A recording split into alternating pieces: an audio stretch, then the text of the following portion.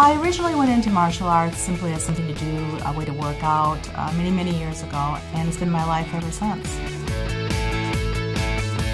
Villari's Martial Arts teaches Shaolin Kempo Karate. We have been here 27 years. Shaolin Kempo Karate is a very old art, but it's something that everyone can do and is very relevant in today's population. And it's something that's really fun. It's all about the internal journey. Everyone is welcome. I think the most important thing I've gotten out of martial arts is a sense of self. It's about becoming a better person. It's about trying things that you find difficult. Our customers are so eclectic, which is the best part. And the one thing we have in common is that everyone has a love of fun, a little bit of adventure. Started here as a six year old, and it's helped shape me into the person I am today. Villari's is like a second home to me. It's an amazing place, it's completely welcoming.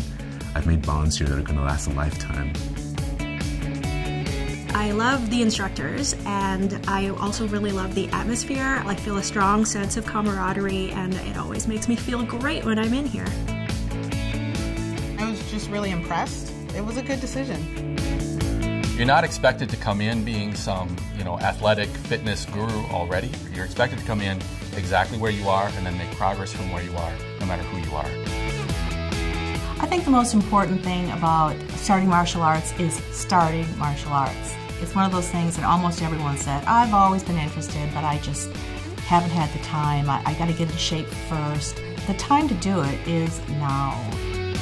There is something for everybody in martial arts, especially this martial art.